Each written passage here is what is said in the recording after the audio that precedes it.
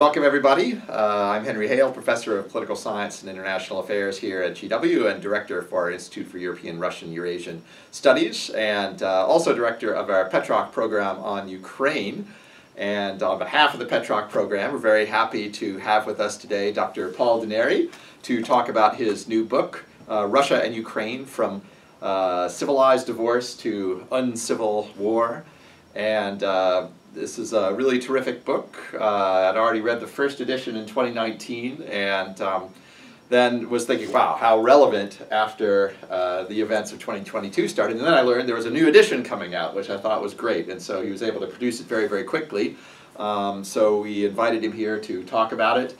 Um, I would just mention um, he's one of the few people I really need no notes whatsoever to talk about uh, his contributions over the years as the author of many um, books and editor of many volumes on Ukraine, Ukrainian politics, uh, and uh, I think it's fair to say, you know, certainly among the, the very top tier, maybe the best person on the kind of Russia-Ukraine over the uh, long period of time. I remember when he was a graduate student, or shortly after being a graduate student, kind of working on his first project on Russian-Ukrainian relations and economic relationship uh, in the early 1990s. Uh, so he's been at this for a very long time, which I think gives him a great depth of perspective.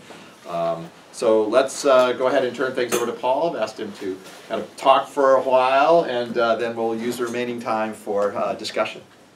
All right, thanks, thanks, Henry. That's a generous introduction. It is great uh, to be back here at GW. Um, been here, I don't know, once or twice before on various different things. One when, when you were working on uh, that book that's somewhere, Patronal Politics. And we, anyhow, it's this is um, this has just been a really um, a, a, place that's, that's helped me think through a couple of projects as I've been working on them. So I've always been grateful to the support uh, I've received afar, afar uh, from uh, this from the institute. I also want want to thank Gabby Fisher who did really efficient and clear and effective work on getting me here, which turned out to be fairly complicated. Um, so the, the goals of the talk are really to go over the book in a very broad way. Needless to say, I'm going to skip a lot. Um, there's 200 something pages in the book. Uh, so I'm going to try to be brief and give you the sort of 20,000 foot view and then, and then let you ask your questions. Um, the goals of the talk are to talk about why the war happened, which essentially is, is what the book is about, um, and then to go a little bit beyond it to talk about how the arguments made in the book relate to uh, how the war might end. Uh, and, and, and, just to be clear, I think our thinking about how the war ends uh, has to be related to our thinking about what the causes of it were.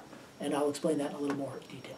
So what caused the war? And I should say uh, about the book, um, it proceeds mostly chronologically.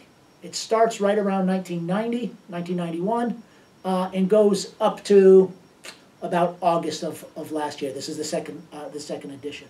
It goes chronologically because I think, I, I think and I thought we needed chronological rendering all this because I think the order of things happens. That's going to be one of my major points is the history actually matters, especially when it gets to things like the impact or not impact of NATO enlargement. Um, that being said, I also make, I think, three broad conceptual arguments about the long-term sources of the war, uh, leaving aside kind of the immediate decision-making that went into the decisions either in 2014 or 2022. So the, the big arguments are, first of all, uh, the first underlying cause of this war was Russia's dissatisfaction with the post-Cold War status quo. And I stress the point that from the very beginning of the post-Soviet era, and actually even before the post-Soviet era, right, Russia objected to Ukraine being a separate state. That's not something that happened later. Um, the second argument I make is that, uh, contrary to a lot of uh, uh, treatments of this of this conflict, um, it was not just somebody being a bad actor. Uh, in other words, security was bound to be a problem in post Cold War Europe. It's not that there was a perfectly lovely situation and somebody had to screw it up. It was a tough situation from, from the beginning, and it was always going to be difficult for Russia and its neighbors to feel secure at the same time. And then the third big point uh, is about domestic politics.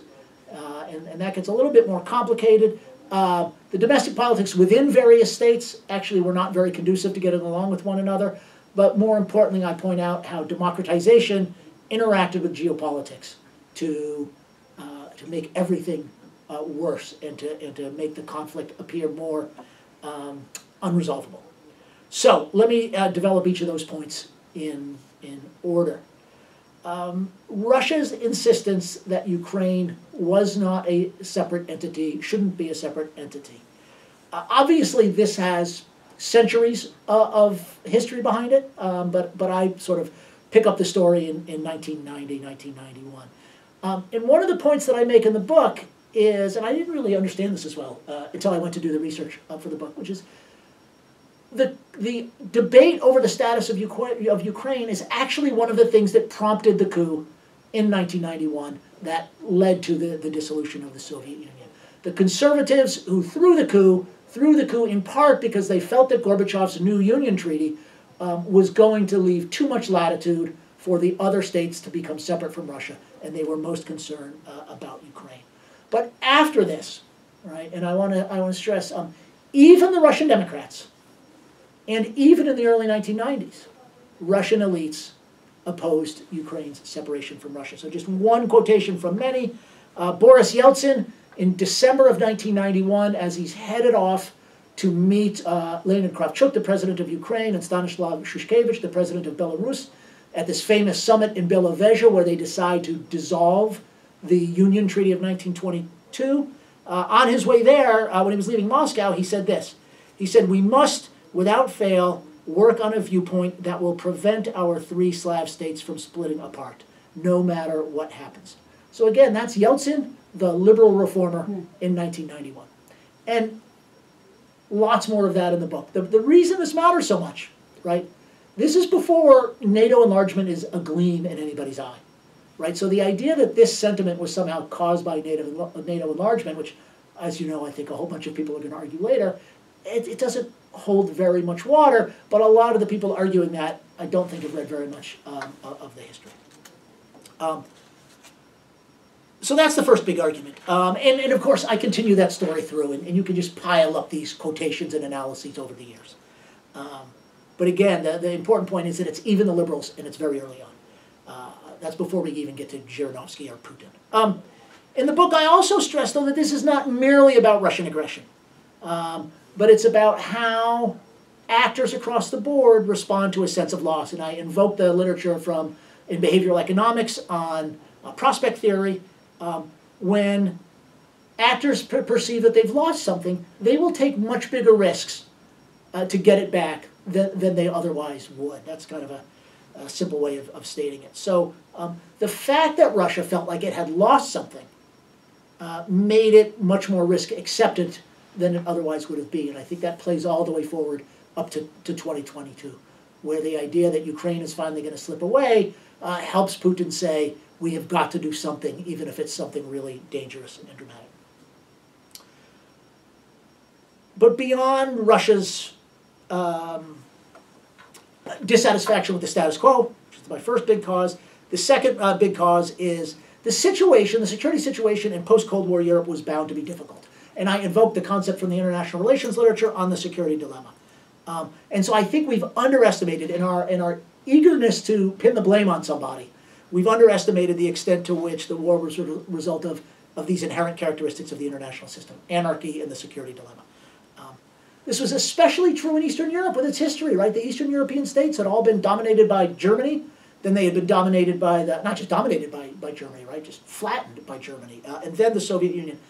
And of course, in the early um, 1990s, a couple of interesting things happened, right? One is there's lots of, uh, there's still Soviet troops on the ground in a lot of these countries. Uh, but then, of course, Yugoslavia blows up.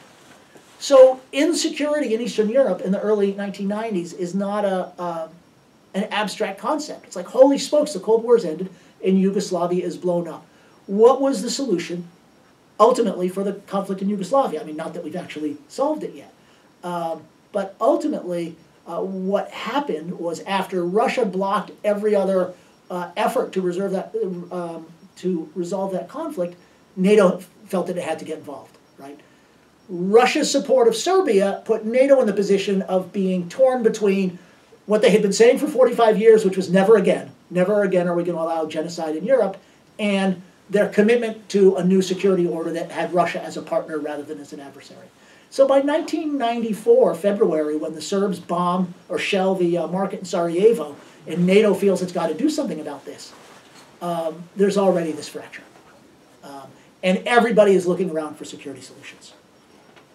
So that then is the context um, in, which NATO enlargement uh, begins to be on the discussion, uh, begins to be uh, discussed. So let me just uh, give you a quotation from Andrei Kozyrev, who was the very pro-Western uh, Russian uh, foreign minister in the early 1990s, so much so that in 1995 he finally got shoved out of office.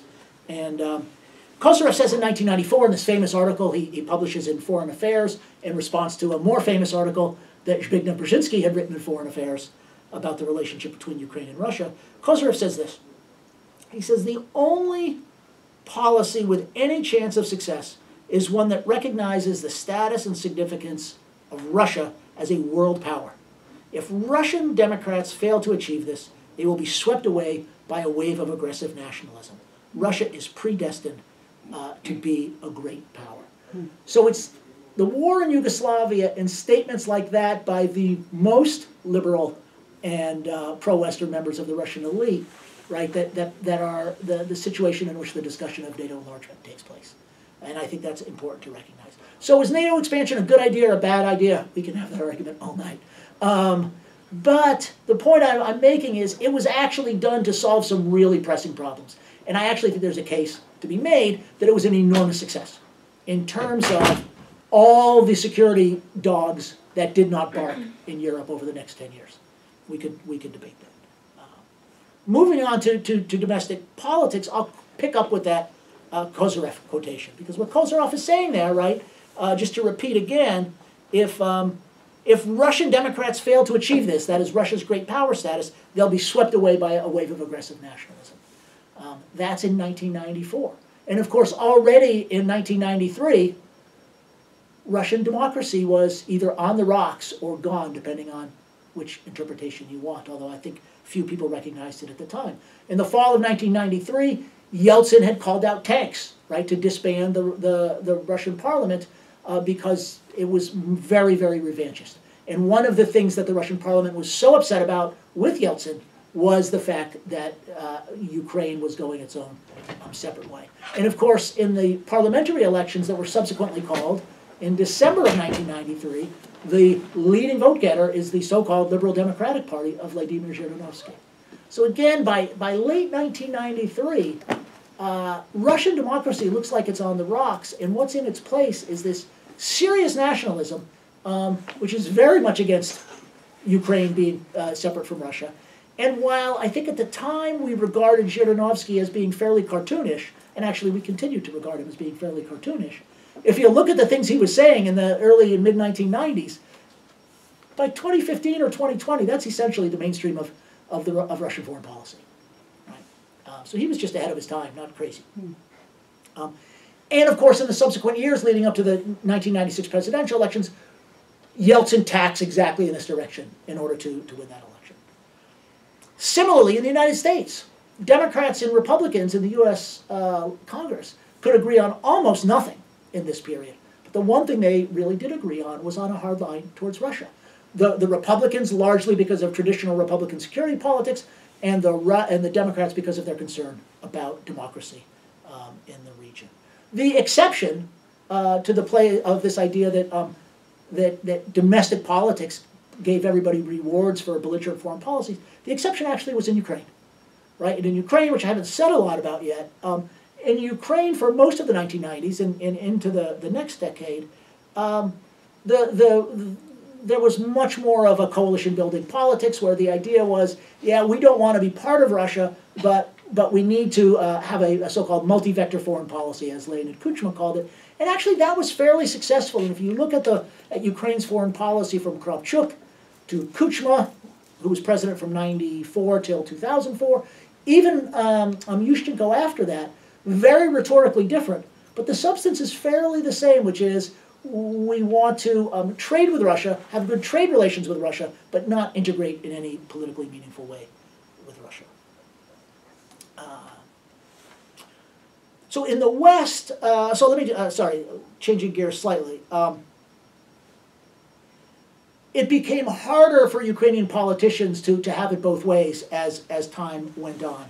Um, and interestingly, what drove that, uh, that, that difficulty more than anything was not security politics, but economic politics. As the EU expanded eastward, the, the cost of being on the outside of it grew, because the danger was Ukraine would then be cut off not just from Germany by, by EU trade barriers, but from Poland. And that was a big deal. Um, and, and so by 2013, when you get to the, the, the, the association agreement, the zero sum game between the West and Russia over Ukraine turns out not really uh, to be, be uh, it's not between NATO and Russia over security politics, it's between the EU and Russia over trade agreements. And, and it's the trade agreement that finally forces uh, Ukraine to, to make a decision one way or the other, and, and we know how that uh, tur turned out. But for all this talk about democratization in the individual states, the bigger thing that I think really toxified the relationship and made it much harder to solve was how democratization became merged with geopolitics. And let me just try to say it very bluntly. Uh, if democracy in Russia was going to fail, which it looked like it was, um, then sort of logically there's going to be a dividing line in Europe between the democratic side and the not democratic side. And the only question was where's it going to be and who's going to be on, on, on which side of it.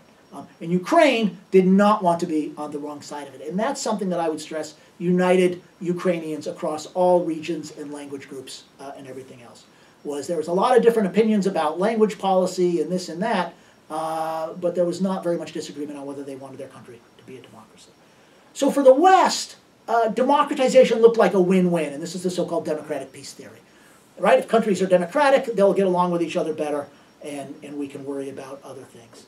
Um, but if Russia was going to be autocratic, as it increasingly was under Putin, and if Ukrainians were really Russians, as the Russian elite believed, and as Putin certainly says, then Ukrainian democracy looked like a real threat to the Russian regime, right? Because it looked like, oh, these people who are just like us have shown that all of our claims that Russia has to be autocratic maybe aren't so true. So that was a danger.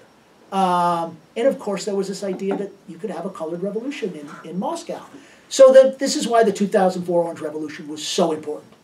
Um, it not only was an immense reverse for Russia in terms of it thought it had sealed the deal in Ukraine and, and they sort of snatched defeat from the jaws of victory, but it was also very scary for the example it provided, uh, potential example it provided for Russia. And some U.S. leaders, and I would point mostly to Hillary Clinton and John McCain, just to be bipartisan, didn't really make the situation any better, and that both of them spoke quite openly about their hope that there would then be uh, a, a, colored revolution in uh, Moscow. Uh, John McCain tweeted at one point during the Arab Spring something like, you know, Dear Vlad, the Arab Spring is coming to a neighborhood near you. um, and this is, this is exactly what Putin was afraid of. Um, so essentially, though, by the time you're, you're getting towards this association agreement in 2013, um, and then after everything that happens in 2013, 2014, uh, there is this. Europe is going to be divided. Russia's now authoritarian. Where's Ukraine going to be? And that helps drive the revolution in Ukraine in 2013, 2014. Um, it's why the European Union, by 2010 or so, becomes more adamant about Ukraine than even the United States was, because the European Union is more concerned about um, certain democratic norms and human rights and things like this than the United States. Uh, but most importantly, right, it puts Ukraine in this position where, in contrast to the 90s, where you could still kind of hope that somehow you were going to fudge the differences between the West and, and, and, Russia, or put it differently, where you where um, both the West and Russia could feel like they were doing okay in Ukraine, and the Ukrainians could feel happy, right? That yeah, we're trading with Russia, but we're not controlled by Russia. Those options were slowly taken off the table because increasingly Russia was saying, uh, if you're not with us, you're against us and it was getting harder to find that intermediate position. That was true in terms of economics, and it was certainly terms in, true in terms of democracy. Either Ukraine was going to be a democracy, and if it was going to be a democracy, it could not be controlled by Russia. Or Ukraine was going to be aligned with Russia, and if it was aligned with Russia, it could not be a democracy.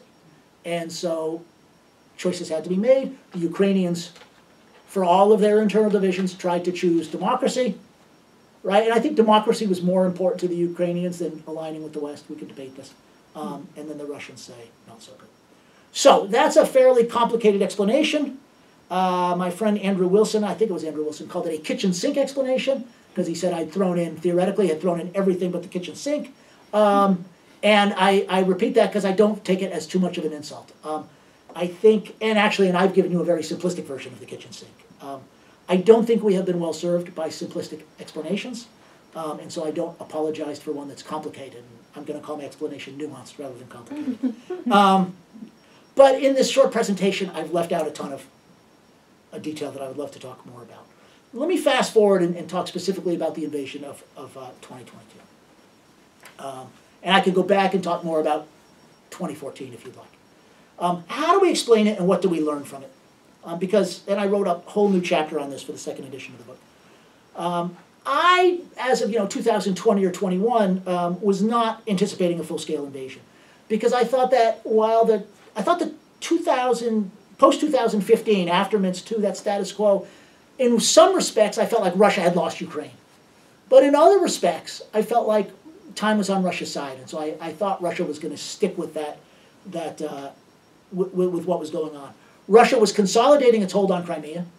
Um, over time, people were getting more and more used to the idea that Ukraine didn't control Crimea.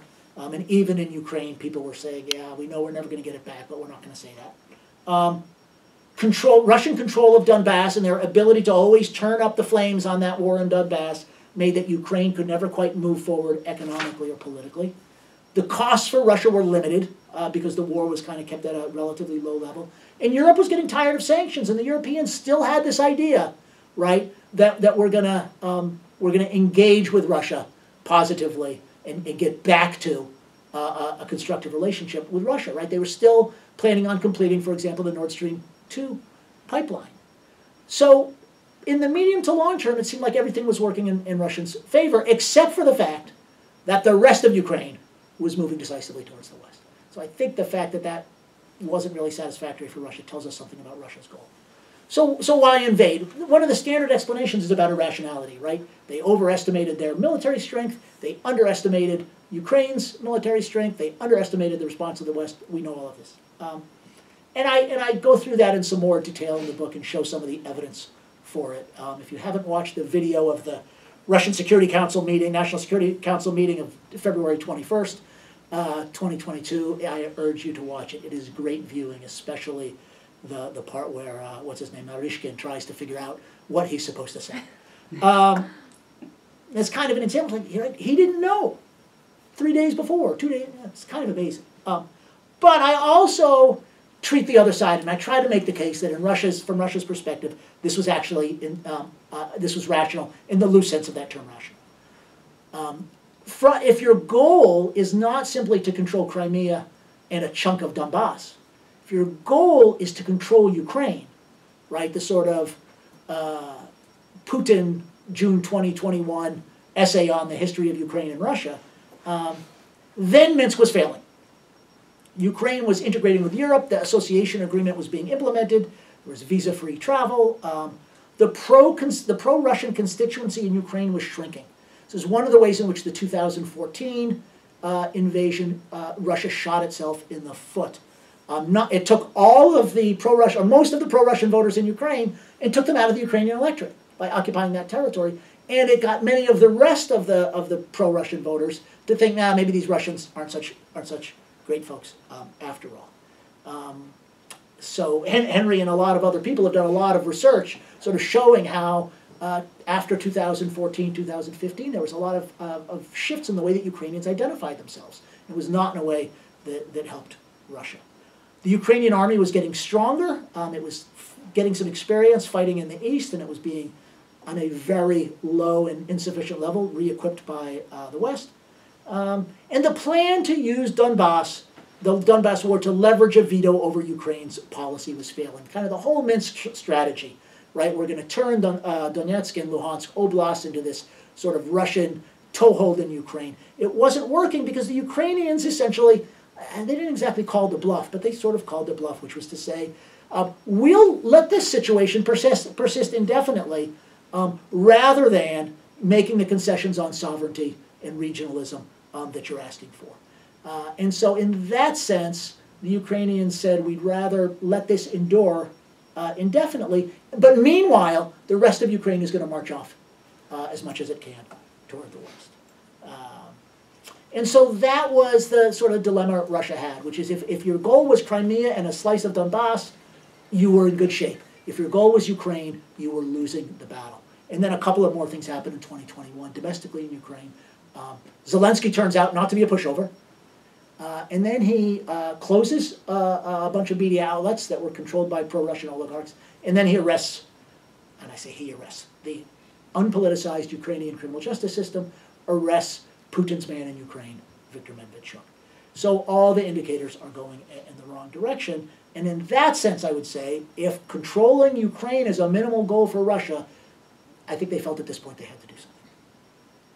Um, so that interpretation rests on a, pretty, on a key point, which I think has big implications for the future, which is that Russia was not content merely to keep Ukraine out of NATO. It was not content merely to, to get Crimea back, right? It wanted to take back Ukraine, and anything short of that was something that it was willing to wage war um, to prevent.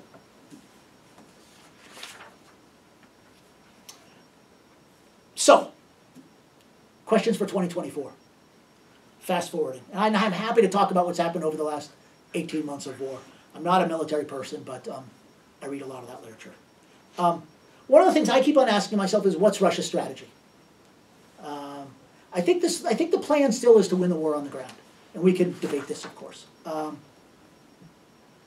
I always ask myself, you know, would I want to be playing the, playing the white pieces in this game, or would I want to be playing the black pieces? And I might be want to want to play the black pieces here. I figure if I'm if I'm Putin, I figure I'm at least going to keep on fighting um, until the 2024 presidential elections in the United States. Because my guess is all the indications are, including this week, right, that Western support for, for uh, Ukraine is going to ebb to the point where I just might be able to win the war without having to negotiate. Or, or put myself in a position such that whatever I get at the bargaining table is a lot better than what I could get now. So when people talk about um, ceasefires, I always point out there's no sign that I can find that Russia's interested in a ceasefire. Nor am I sure they should be, right, given how things might go uh, uh, on the battlefield. Um, the harder question, I think, is what are Putin's war aims in territorial terms? That is to say, if he had his druthers, where is he going to draw the western border of Russia? Um, and I see you shaking your head. Nobody knows, and I'm not sure he himself knows. Right? Sometimes there's this tendency in Russian history, you know, going back hundreds of years, and it's not only Russia. Right? Lots of empires have this. You move into a frontier, and then you see what's on the other side, and you're afraid of it, and you say, well, we've got to do something to kind of control what's on the other side of the frontier. And of course, the easiest way to control what's on the other side of the frontier is to move the frontier a little bit more. And, and so, uh, so it's not clear that they know exactly where they would stop. Um, similarly, it's not entirely clear politically what, what the goal now is for Ukraine. Is, he, is the goal to uh, get you, the Ukraine government to capitulate or to replace it with some kind of puppet government or what? Um, another interesting question is let's just say, for the sake of argument, that things go badly for Russia on the battlefield. Um, at what point does he feel like he can walk back the annexations of the entire territory of Donetsk and Luhansk and uh, Kherson and Dnipro Oblast, Dnipropetrovskaya Oblast, in order to uh, reach a peace treaty? Because as it stands, if you had a ceasefire in place, he'd be committing treason under Russian law, because that's Russian territory. So it's he's he's very deliberately, right, I think this is a very clear, deliberate. It's like he's read game theory books. He's tied his hands, right, on on any kind of uh, territorial uh, um, resolution to this war. Of course, the, the other big question I've already mentioned is how much support the, the West will give to Ukraine. Um, in the medium to long term, there's now this um, there's a battle of mobilization and resupply. Very hard to predict how it's going to go, right? Ukraine is already suffering for numbers. Ukraine, uh, Russia is suffering for a lack of motivation, which, tur- which turns into a lack of numbers and maybe turns into a lack of uh, combat effectiveness. But ultimately, you know, those kinds of things are going to determine either who quote unquote wins the war or who has more power uh, when, when they sit down at the table to negotiate something else. So my current research, I'm going to summarize really quickly, is trying to think that what happens after that. So let's just say, for the sake of argument, this war, there's a, this saying, right, all wars end. And I always point out, yes, all wars end, but there's a war called the Thirty Years' War, and there's a war called the Hundred Years' War. And most of the wars in our data sets that international relations scholars use to study international conflict, most of those wars are the same countries fighting each other over and over again. So there's a big difference between peace and enduring peace. And, and we should be very well aware of that. And that question of peace that doesn't last versus peace that does last, I think will have a huge impact on how both sides think about uh, what they should agree to in the short term. Minsk was a peace. Minsk 1 was a peace, right? Lasted, what, seven or eight months till the Russians decided they wanted to get the territory around Donetsk airport. Minsk 2 was a peace that lasted eight years. Um, from Ukraine's perspective, right, a peace that lasts eight months or eight years may not turn out very well, right? You might think, well, we're better off continuing to fight than something like that. Russia might feel the same way, or Russia might feel, boy, a peace that leaves us two or three more years to regenerate our force might be a pretty good deal. And so, so that's um, the concern. Big picture is neither side really feels like it can trust the other to do what it says, right? All peace agreements rely on commitments about the future. Those commitments are inherently not credible. So then the question is who from outside can make some commitments to make those commitments credible? And this is where we get into the whole conversation about should the West um, supply Ukraine with lots of arms, so called porcupine strategy, should the West make security guarantees to Ukraine but not give it membership in NATO? Should the West give Ukraine um, membership in NATO? Those kinds of things are going to determine how stable or unstable the post-war the post-war situation is, and beliefs about how stable the post-war situation will be are going to shape uh, the two sides' willingness to negotiate any particular um, terms. And so why do I make such a big deal out of this and why do I bring it up in this talk? Because it goes back to what we think about causes of the war. If you believe that Russia is and was a status quo power, and that this war was essentially a defensive war, that Russia attacked Ukraine out of fear, then you might think there's a pretty good case then that a, that a, that a ceasefire is going to hold. That Russia's made its point, it doesn't really have any desire to take more Ukrainian territory, so that if we can get a ceasefire, the ceasefire will hold by itself. If, on the other hand, as I think I show in the book and I'm arguing today, Russia was not and is not satisfied with the status quo, um, then you need something more than a ceasefire in order for a ceasefire to hold, right? Uh, the ceasefire is in danger of being blown up uh, the very next time somebody has the advantage um, of doing it. And, and so the idea, there is, there's the argument, um, Serhiy Kudelya, a colleague, made this argument to me just over the weekend at the ACES conference. He said, you know, this war has been so destructive for, for even for Russia and so costly that they're not going to be itching to do it again anytime soon. And, and I think that's a, a valid point. At the same time, it's not been so destructive that they've yet shown any signs of wanting to stop it. And so maybe they've got more appetite for pain uh, than we think. And I think Putin certainly believes that he will always have more appetite for pain um, than the West. So, so uh, how do I bring this to a close? Um, I think that the problem of insecurity between Russia and Ukraine, uh, uh, I go back, I think it starts almost immediately in 1991, and I think it's going to be with us for a, a long time to come. Um, we talk about what happens after the war, we reconstruct Ukraine, absolutely. But the, um, the question of the ongoing insecurity and the possibility of the next war is going to hang over post-war Central Eastern Europe the way that the possibility of World War II was hanging over Europe after World War I almost from the very beginning. That's my argument, and I'm sticking with it. All right, we'll applaud for you and your research, not for the. Uh, Not for the argument. Yes, yes. no, thank you so much. I mean, maybe if I could just uh, take the opportunity Absolutely. to ask a first question, um, which is uh, your argument, uh, as I interpret it, is largely about kind of uh, structural causes and kind of deep historical. Yep. causes and values that are Yep. widely held, uh, you know, within Russia, including the elite. Um, Yep. I, I guess like what I'd ask your opinion about would be, you know, what do you think of explanations of the, at least the full-scale invasion Mhm. that really pin a lot of this to Putin himself or to like the individuals? I mean, you hear everything from like, well, he was isolated during COVID and kind of went crazy, um, you know, to the idea, well, that he was just, you know, he's always said Russia and Ukraine are one people, and this is his last chance. He's getting older, because the implications are as well, like what happens if he gets overthrown, or you know, eventually the inevitable happens, and um, you know, does this change things fundamentally, or um, you know, do you think that the sort of the aggression, the military aggressive side of those values is pervasive enough that you probably get the same thing. I know it's unfair hypotheticals, but the, the leadership, um, the leader uh, element, I'd be interested in your It's thoughts. the, um, it's a fair question and it's the hardest question. Um, it's the one I struggled with the most because uh, if I, I'm gonna frame your question slightly differently, which is, so are you saying this war was inevitable? And if so, when did it become inevitable? It was not inevitable, right? There's this famous metaphor of the causes of war as a funnel, right? You have these big structural causes that sort of make things, make war possible, and then things happen that, that you give you something to argue about, but there's still other alternatives, right? And you, and it's, it's um, a stepwise, or another metaphor that's used by uh, John Vasquez is um, paths to war. And so this is a path with a lot of exit ramps.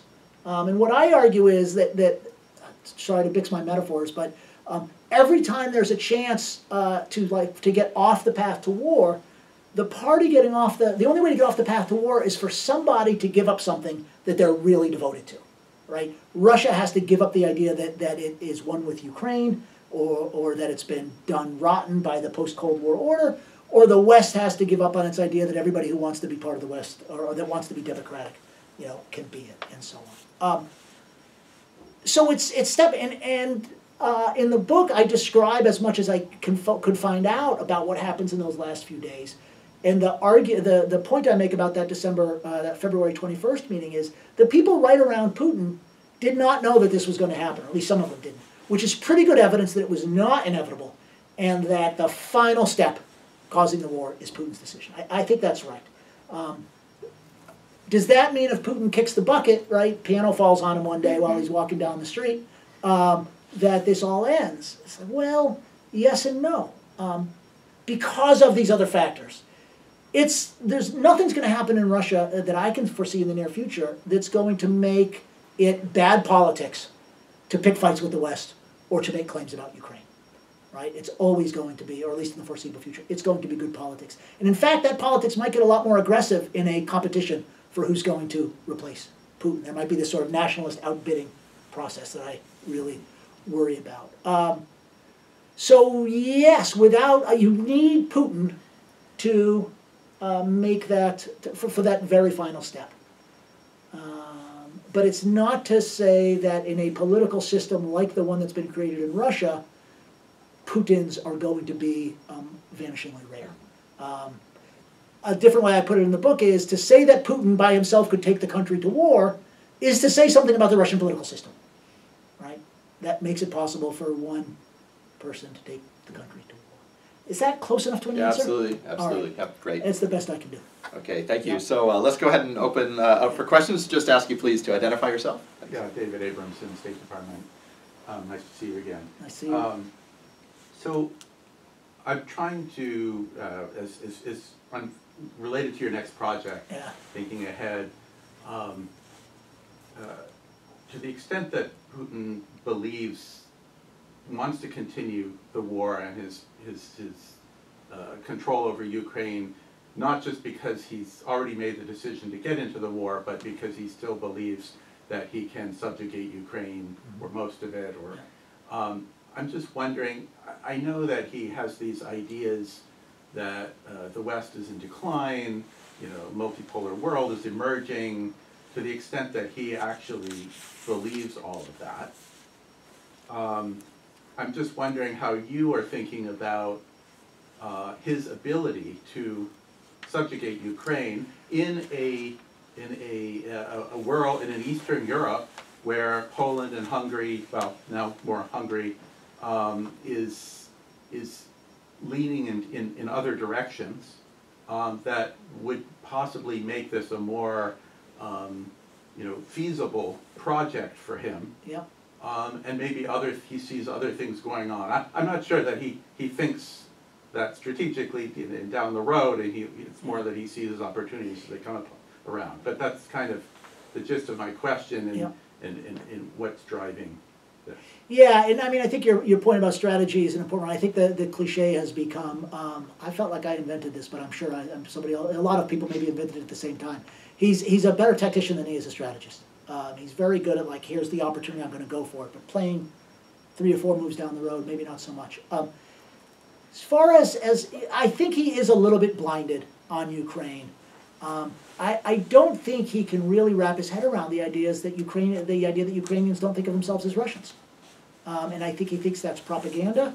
And, and I think there's this long tradition in Russian nationalist discourse, right, that Ukrainian nationalism is not just fake, but it's a Western plot against Russia. And so I, so I think it's hard for them to see. And the reason that actually scares me is because I think, um, and we've seen this in the places where they've occupied, right? Is the people who won't sort of uh, go along with Russian occupation, um, they either get killed or, or just driven out. And so, and, and, you know, we, we've seen this in some other places. Um, one of the reasons, you know, we, we talk, uh, the, the thing he has to fear is an insurgency. And you think about, I, I used to say, you know, this will make Iraq look like a Sunday school picnic. Except that the Americans in Iraq, for all the things we screwed up in Iraq and for all the bad things we did, we were all, we had always these incredibly limiting rules of engagement. And when the Russians take over some place, their rules of engagement are not very limiting. And, and actually, if they were to drive not 5 million, but 25 million Ukrainians westward, that would be a double good for them, right? They would be depopulating Ukraine, sort of like they did with the Chechen cities. Just depopulate them and move somebody else in. Um, and then, of course, you've created a refugee crisis for the West, which is going to further split the West. So that's what. So, so I don't think he's got a long-term strategy for how he's going to quote unquote govern Ukraine, but I think his strategy is a much more post-World War II strategy of just massive population movement than we can even maybe conceive of because we we still assume some parameters that he doesn't assume. Does that make sense? Sorry, I can tell you're not satisfied. Do you want to? Well, no, I'm just thinking about, like, in a way, it's kind of a, a- an archaic way of looking at things. Um, I mean, NATO still, will still exist. Yep. Um, it's not like you can grab the Baltic states, small states. I mean, Ukraine is a big Yeah. place, and Yep. to, yes, there's a lot of population movement, but, but I- maybe, yeah, but I, I, I, I'm not sure that he, he. I think you're right. it. I mean, I think in the big picture is is um, you know there's this. No, sorry, I won't even tell that story. Um, it's yeah. Once you get it, what are you going to do with it? Um, it's almost like yeah, you've you're France and you've decided you're going to like retake Algeria and refight the Algerian civil war. I, I think that's right. Um, I guess what I was saying about depopulating is not that it's just going to happen like that. My fear is that if Russia is able to defeat the Ukrainian military and tries to reoccupy Ukraine, it will be a bloodbath like we haven't really wrapped our heads around yet. Because I don't think the Ukrainians, a majority of them are just going to cave in and say, okay, we'll speak Russian now. Um, I think it's going to be awful because of the scale. Okay, great, yes, please. Uh, Igor Nizhnikov, visiting scholar. Uh, thanks a lot. It's uh, a very interesting talk and a lot of ideas to discuss. Uh, my question would be related to uh, what you've been talking about, Western commitment, Mm-hmm. and partially also uh, to the Western role before the invasion. Because one thing that you talk about is uh, the, let's call it the mixture of, uh, well, let's say the Western geopolitization at some point and uh, connection into where Ukraine should be, but at the same time, with sanctions, etc. But at the same time, we can have an argument that the Western approach, or at least the Europe's uh, approach, has been too lenient to Russia after uh, the invasion in 2014, Mhm. and that to sort of degree send their own signals to Mhm. Moscow, and hence we can say Yeah. Russia didn't expect. Mm-hmm. And Nord Stream actually is a very good example. And in this regard, um, so in this regard, uh, West is kind of an elephant in the room, which, which Mhm. is a sort of trigger or uh, how Russia views things. And that relates exactly to what you've been talking about. Uh, what kind of a commitment, if we talk about um, the future and the war, given that uh, there is really sort of a too few options uh, between NATO membership, which is kind of during the war kind of a impossible, and uh, what we have now, which is uh, just uh, assistance, which sustainability is in question. So where can we go from here? So what do you can actually offer Ukraine to prevent this bloodbath in a way? Yeah. Um, so let me go back first to what happened before the war. Um, yeah, the EU, you know, the, the EU and the United States, in different ways, um, did what democracies actually are good at, which is they, they found compromise. But in this context, compromise often ended up being the worst of both worlds. So for example, the, the, the uh, Bucharest summit, two thousand eight, right? We said, well, we're not going to let Ukraine in, but we're gonna make this very, very, I mean, this so-called promise, right? Which was someday, right? And I think everybody under, under, understood at the time that, that someday was diplomatic speak for never, um, but maybe not. Um, but it, but it was this idea that holy smokes, they're not letting them in now, but they are going to let them in sometime in the future. So the clock is ticking on our chance to stop it, right? Um, Tim Colton and, and uh, Sam Charap, who I disagree with on a lot of stuff, I think get it spot on when they say it was the worst of both worlds. The same thing you can say about a lot of the EU policies.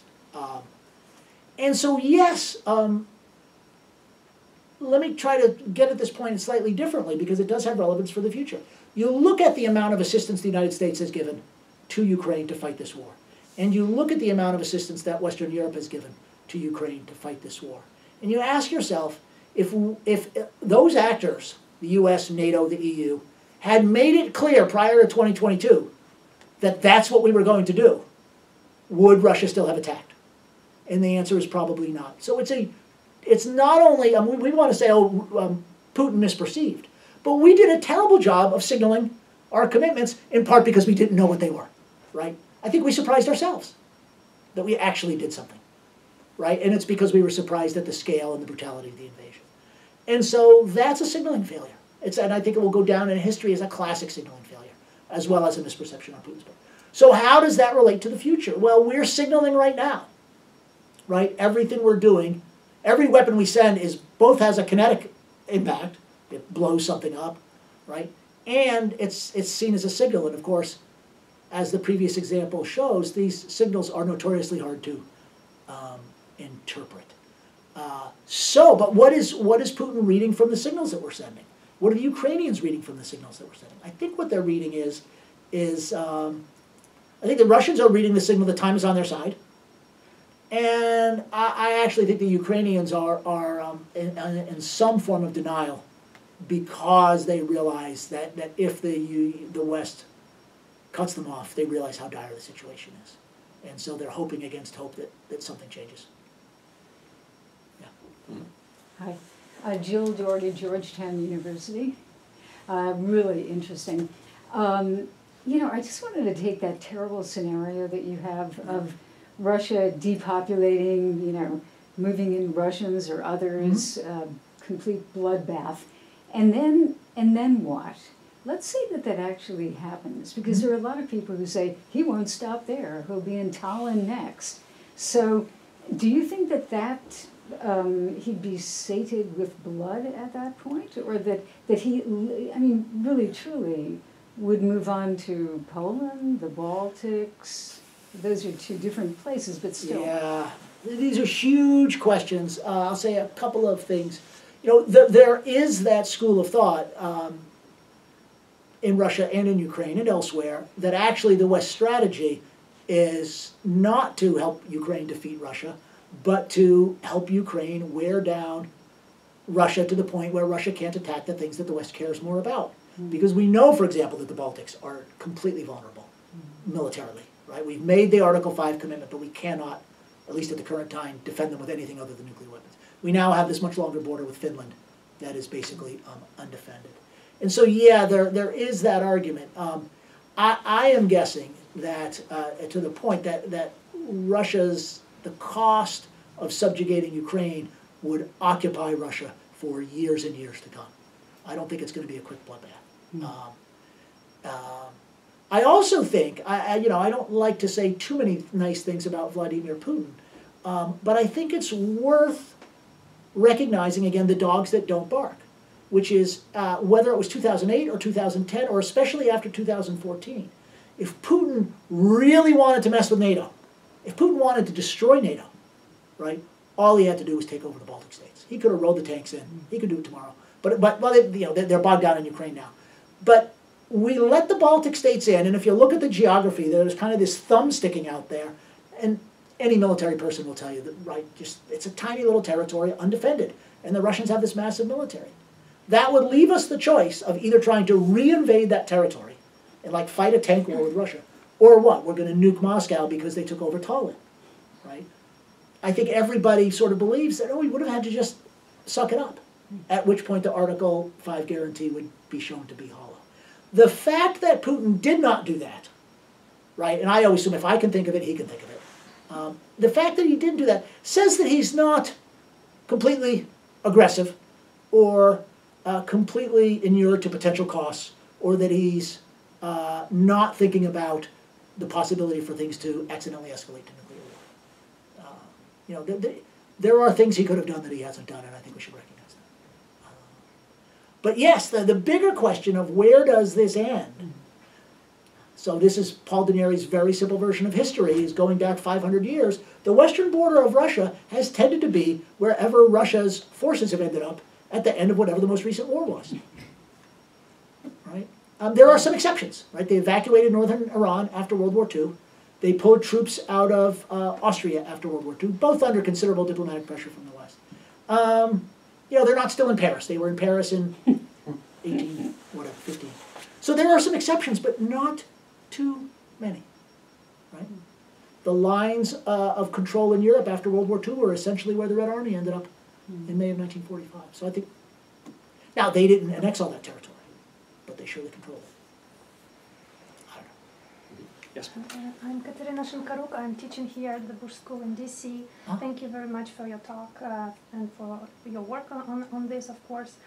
Uh, my question is probably about the broader picture. Like Putin himself uh, claims that this is not a territorial um, war. This is a war about rules of the game or re- rewriting the Yep. the fundamental principles, as he says. So. Uh, we may consider whether he is uh, looking at it from the perspective, as you mentioned, of post World War II uh, situation or post Cold War situation, which he basically was uh, discussing with uh, um, U.S. uh, partners in 2021, which ended uh, nowhere. But still, uh, this conversation to me uh, seems very uh, illustrative of what his goals might be for the for the bigger picture. So my question is uh, about whether we can even consider Ukraine as an end rather than a means for his uh, for his um, broader uh, goals of rewriting uh, security order, at least in Europe or even more more broadly. And what can whether whether you agree with this perspective and what can we drive from this perspective in terms of the end game? Okay. A couple of different important things there. Um, first is the rules of the order. Um, yes, this is what he says. But the order he's promoting, just to confuse the historical epics a little bit more, he seems to be promoting actually the 19th century order, right? He wants an, uh, an order of multi-power, great power politics. Okay, fine. That's the, that's the order. But that was an order in which territory changed hands very frequently through the use of war. That that was the the idea that we don't just swap territory based on wars really is a post World War II invention. And it's it was invented because of the destructiveness of World War One and World War Two. Right? Prior to that, all of history was, especially in Europe, was moving boundaries ten or twenty or hundred miles, right, with a war. Um, so you can't disassociate the territory from the order because the entire core of the post World War II order is that we don't change territory by force. Um, but, but to your broader point, the idea that he wants a, a different post World War II order, uh, yes, but, but what does it mean? Right? It means Russia has a veto.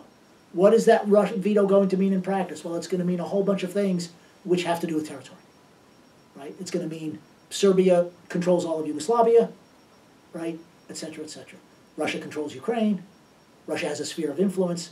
So I don't. I, I think the. Um, I think it's artificial to to separate the territorial questions from the order because the orders are largely about territory, and vice versa. Um, but you raise this broader question, which I think is really interesting, which is kind of um, what's his baseline motivation, right? Is it about territory? Is it about order? Is it about some end state for Ukraine? Um, and I raised that earlier, and, and all I will say that I haven't already said is that, you know, for politicians, you don't always have to have a single motivation for things. In fact, the things you love the most as, as a politician are the things that serve multiple goals. Right? So, so snatching back Crimea in 2014 is a great example. You get a chunk of territory that you've always said was yours. You've stuck your thumb into the eyes of the West.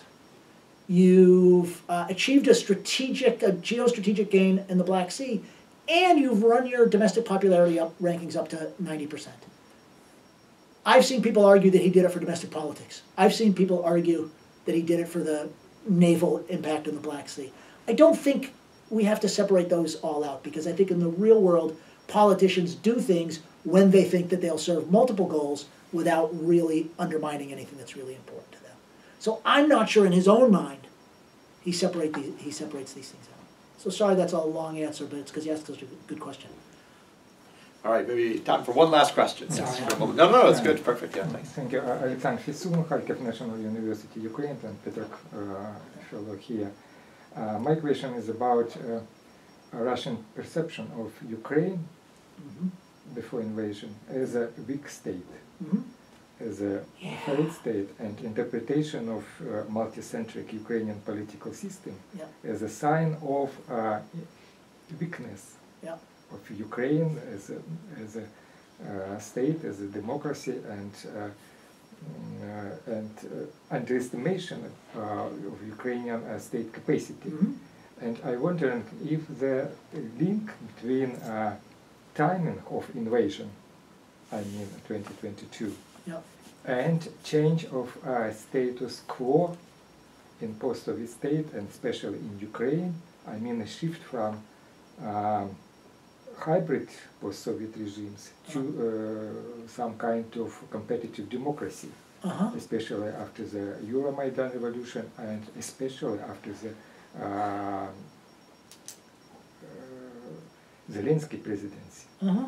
So, uh, because uh, all of uh, status quo, so the first one and second one, Yeah. I mean, uh, disintegration of Soviet Union and uh, security problem um, uh, uh, in the post-Soviet states is an imminent uh, and constant uh, structural factors. But mm-hmm. 2022 is a decision mm -hmm. after some shift in domestic Ukrainian politics. And after, and you, you, you, can look to Kazakhstan after the Nazarbayev and January events in Kazakhstan in 2022 you know, okay, so there's two, two things here. One is about the timing of the attack, and the other is about the Ukrainian state. Mm -hmm. um, the Russians completely got the Ukrainian state wrong, but so did everybody else. Right? The Ukrainian state turned out to be incredibly resilient. And in a strange sort of way, the same things that made it hard to govern the country effectively um, also made it incredibly resilient to attack. Which was there were all these social networks all over Ukraine, and people, right, just did all this stuff. Um, and at the same time, eight years of war had actually got the military to be a lot more effective. And it was this combination of a military that was kind of outgunned but, but effective with what it had, and all these other actors uh, uh, made Ukraine incredibly, incredibly resilient. And nobody really anticipated that. But you get at this question of why do they attack when they attack? And that, I think, uh, that's a little bit vexing because um, I, I point to a bunch of things that happened. The most recent one, the sort of latest one, was I think the arrest of Viktor Medvedchuk in mid 2021. Mhm. And then, you know, and that's about the time, right, that they start moving troops to the Ukrainian border. April 2021, I think, is when the big, they, the first big shipment of troops goes. Um, so it seems like at least in in March, April 2021, Putin is at least saying this is a real option because he's starting to put the troops in, in place to do it. Um, why that timing? Maybe the push factor was Medvedchuk getting arrested and those stations getting closed. Um, but even then, you could say, okay, you've got the, the rest of the future to do this attack. And so I also wonder was there some sense in Russia of some window of opportunity that was closing? And the best I can explain it, and I'm really just speculating here, sort of really just pushing too much of my logic onto Putin, is yeah, once this stuff happens in 2021, he decides, yeah, this is not going our way, we're going to have to do something about it. And once you've decided you're going to do something about it, you're going to take the time to get your forces in play, but then you're going to, but then you're going to let it rip. And I think you're going to let it rip uh, sooner rather than later, because slowly the Ukrainian army is getting more arms and training, uh, He's probably got something in mind related to um, uh, elections in Russia and, and so on and so forth. Um, You know, one other thing that, that could have played a, a role in timing that we haven't talked about is the U.S. withdrawal from Afghanistan. Um, there is this argument that says that that was such a mess and that it was seemed to be such a clear example of the Biden administration's unwillingness to do to uh, let's just call it isolationism, right? That that that this was sort of a thing that says, yep, we've as long as Biden is president, we've got carte blanche, so let's go. Again, I think it's probably a lot of little things put together that says it's not. All right, well, unfortunately, we're out of time, but this has been a Speaking of which- fascinating uh, conversation. Thank So uh, highly recommend the book. There's uh, lots of great stuff in there. So certainly encourage people to uh, get yourself a copy. And uh, thank you so much, Paul, for joining Thank us. you. Happy to do it.